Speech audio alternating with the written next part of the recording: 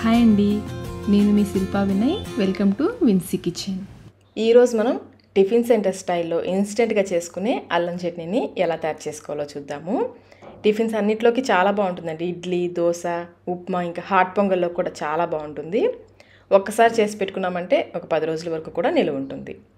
మరి ఇంకెందుకు ఆలస్యం? ఈ టేస్టీ టేస్టీ ఇన్స్టెంట్ అల్లం చట్నీని ఎలా తయారు చేసుకోవాలో చూసేద్దాం.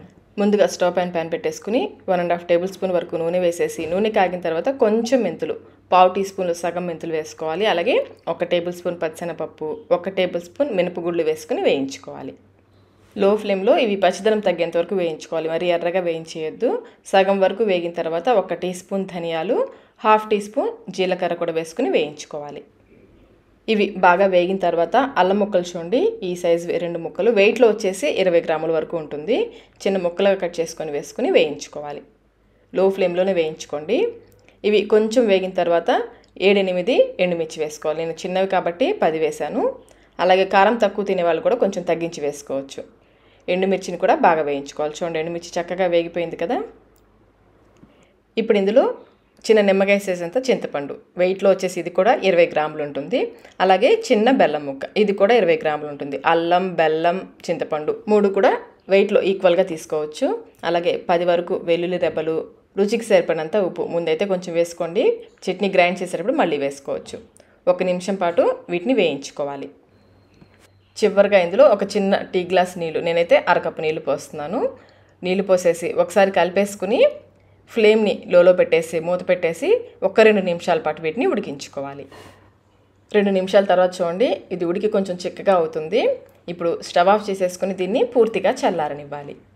ఇది పూర్తిగా చల్లారిన తర్వాత మిక్సీ జార్లోకి వేసేసుకుని ముందు నీళ్ళు పోయకుండా గ్రైండ్ చేసుకోండి. కొంచెం నలిగిన తర్వాత కాచి చల్లార్చిన నీళ్ళు పోసుకుంటూ గ్రైండ్ చేసుకోవాలి. నాకు ఆ వీడియో క్లిప్పింగ్ మిస్ అయిందండి. కాచి చల్లార్చిన నీళ్ళు పోసుకుని గ్రైండ్ చేసుకుంటే మనకి పచ్చడి ఎక్కువ రోజులు నిల్వ ఉంటుంది. ఒకసారి టేస్ట్ చెక్ చేసుకుని సాల్ట్ కానీ బెల్లం కానీ మీకు ఇంకా తీపి ఎక్కువ కావాలనుకుంటే బెల్లం కూడా వేసుకోవచ్చు. చూడండి విధంగా మెత్తగా కొంచెం గట్టిగా గ్రైండ్ చేసుకోవాలి. ఇప్పుడు మనం చట్నీకి పోపు వేసుకుందాము. స్టవ్ అండ్ ప్యాన్ పెట్టేసుకుని రెండు టేబుల్ స్పూన్ల వరకు నూనె వేసుకోవాలి. నూనె కాగిన తర్వాత హాఫ్ టీ స్పూన్ ఆవాలు పావు టీ స్పూన్ జీలకర్ర ఒక టీ స్పూన్ మినపగుళ్ళు ఒక టీ స్పూన్ పచ్చెనపప్పు వేసుకుని వేయించుకోవాలి. ఈ పోపు దినుసులు ఎర్రగా వేగిన తర్వాత ఒక ఎండుమిర్చిని తుంపి వేసుకోండి. అలాగే నాలుగైదు వెల్లుల్లి రెబ్బల్ని కచ్చపచ్చగా దంచుకొని వేసుకుని వేయించుకోవాలి. ఈ వెల్లుల్లి కూడా బాగా వేగిన తర్వాత కొంచెం పసుపు కొంచెం ఇంగువ టూ పఫ్స్ వేసుకోవచ్చు. వీటిని కూడా కొంచెం సేపు వేయించేసుకొని చివరిగా కరివేపాకు కూడా వేసేసుకుని స్టవ్ ఆఫ్ చేసేసుకోండి. పోపు రెడీ అయిపోయింది. ఇప్పుడు ఇందులో మనం గ్రైండ్ చేసుకున్న చట్నీ వేసేసుకోవాలి. చట్నీని చూడండి విధంగా. కొంచెం గట్టిగానే గ్రైండ్ చేసుకోవాలి. మరి పల్చగా గ్రైండ్ చేసుకోవద్దు. చట్నీ అంతా వేసేసుకుని పోపులో బాగా కలిసేలాగా కలుపుకోవాలి. మీరు ఇంకా పోపులో కొంచెం నూనె ఎక్కువ కూడా వేసుకోవచ్చు. నూనె ఇందులో బాగా కలిసేలాగా కలిపేసుకుని ఇది పూర్తిగా చల్లారిన తర్వాత ఎయిట్ ఎయిట్ గ్లాస్ జార్లో స్టోర్ చేసుకుంటే పది రోజుల వరకు కూడా ఇది ఫ్రిడ్జ్లో పెట్టామంటే పది రోజుల వరకు కూడా నిల్వ ఉంటుంది. టిఫిన్ సెంటర్ స్టైల్ అల్లం చట్నీ రెడీ అయిపోయింది. మనం ఎప్పుడు తినాలనుకుంటే అప్పుడు ఈ గట్టి చట్నీలో నుంచి కొంచెం చట్నీని పక్కకు తీసుకుని కొన్ని నీళ్ళు పోసి పల్చగా చేసుకోవాలి.